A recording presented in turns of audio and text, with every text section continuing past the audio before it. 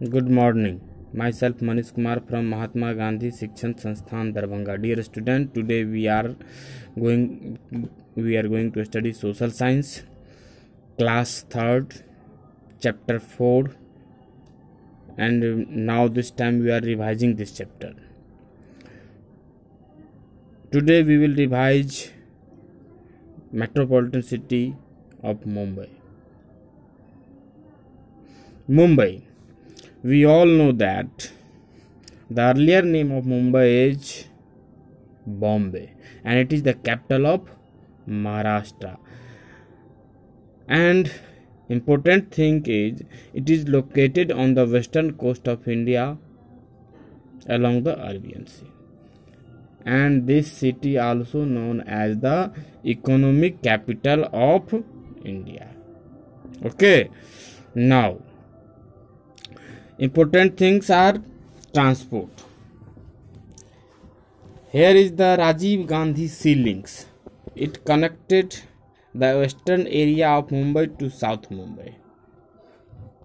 And second one mumbai suburban railways.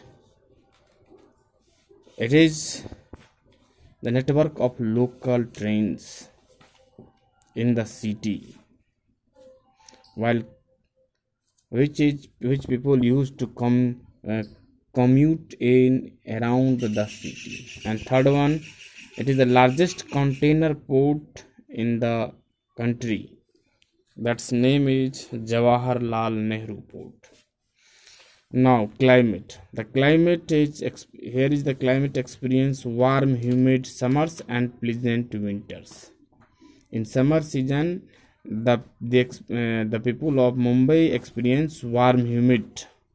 And in winter they experience pleasant climate. Okay?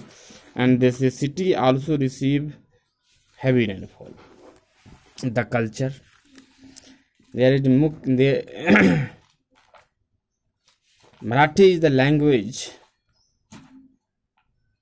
that is spoken by most most of the people in the Mumbai. After that, Hindi, Urdu, Gujarati, and Konkani also spoken. The most important festivals is Ganesh Chaturthi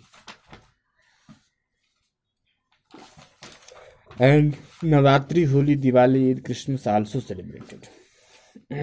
this city is the birthplace of Hindi film industry popular popularly known as the bollywood. And there are so many good food items in found also found in here. Just like vada pav pav bhaji bhel puri. There are so important things. Now the important palace place or interested place where the people go. Where these are the marine drive hanging gardens Nehru planetarium Chhatrapati Shivaji terminus terminals terminals Juhu beach Haji Ali Dargah E thank you